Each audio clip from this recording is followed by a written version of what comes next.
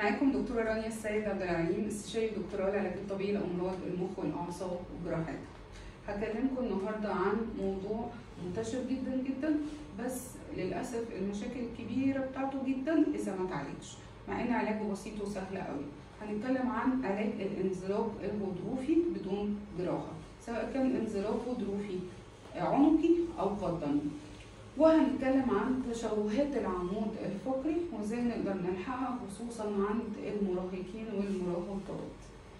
هنتكلم دلوقتي إزاي نلحق الانزلاق الغضروفي، يعني إيه انزلاق غضروفي؟ يعني بين بين الفقرات في حاجة اسمها الغضروف دي جوه حاجة fibrous tissue جواه مادة عاملة زي الجيل تمام؟ لما الانزلاق الغضروفي ده درجات يا إما بيحصل بانش يعني زي بيبوظ اللي هو الجيلاتين ده يطلع بره شوية يا إما بيطلع يا إما بيطلع حبة كتار يا إما بيتقطع ال disc خالص. طيب إحنا إيه الهدف من إن أنا شفت ناس في الانزلاق الغضروفي العنقي وصلوا إن الموضوع أثر عندهم على الاتزان أثر عندهم على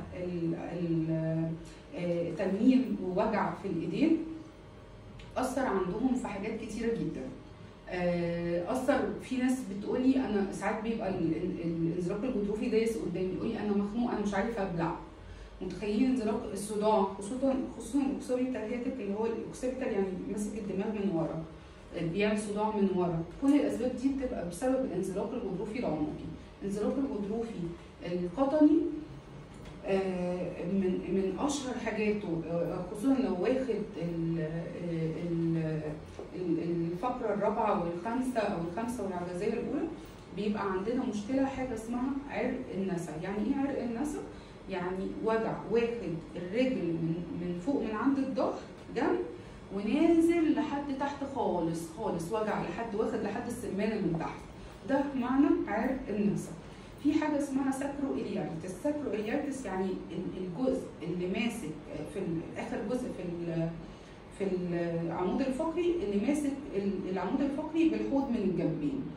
ده الالتهاب فيه فظيع بيعمل صعوبة شديدة في الحركة وجع بنصحى من النوم كأننا متجبسين. يعني لا عارف توطي ولا عارف تصلي ولا عارف تروح تتوضى كأنك متجبس. ده ده السابرو اليارتس أو التهاب المفصل اللي ماسك الظهر بالحوض اللي هو بيبقى آخر جزء في الظهر في حاجة اسمها الالتهاب في العظمة اللي هي بنسميها بالعربي العصوص.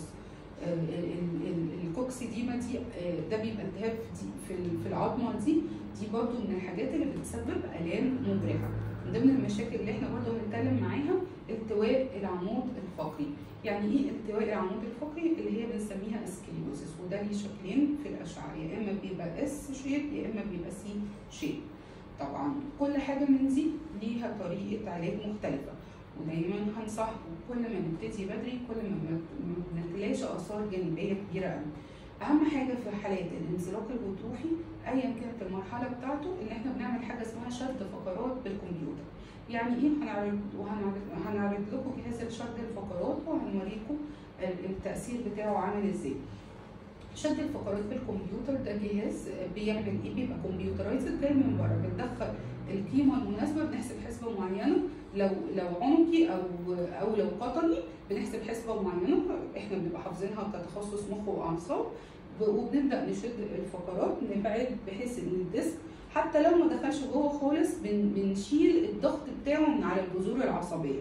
ودي بتبقى أهم حاجة في مرحلة العلاج.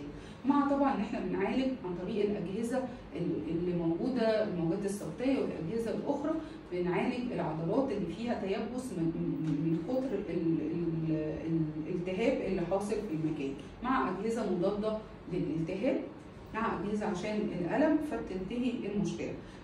بس بنزود لما يكون في مشكلة في حاجة عندنا اسمها vertebrobasilar insufficiency يعني إيه vertebrobasilar insufficiency لما يكون الدورة الدموية اللي بد... اللي بتغذي اللي, اللي ماشية من من الرقبة للمخ فيها مشكلة بنزود على على الجلسه دي في الرقبة بنزود عليها جهاز أمريكي بيزود الدورة الدموية اللي بتغذي اللي, اللي, اللي واصلة للمخ. لو الدنيا مش محتاجة تدخل جراحي لو إحنا لحقنا الموضوع في الأول ومش محتاجين نوسع الشريان ده. بنزود بنزود الدورة الدموية وفي حالات كتيرة اتعالجت عندي والحمد لله الدورة الدموية بقت كويسة جدا اللي رايحة للمخ. لما بيكون في العصب بتاع عرق النسا في الرجلين اللي أنا قلت لكم الوجع بتاعه بيبقى واخد الرجلين كلها بنزود على شد الفقرات بالكمبيوتر علاج للعصب نفسه.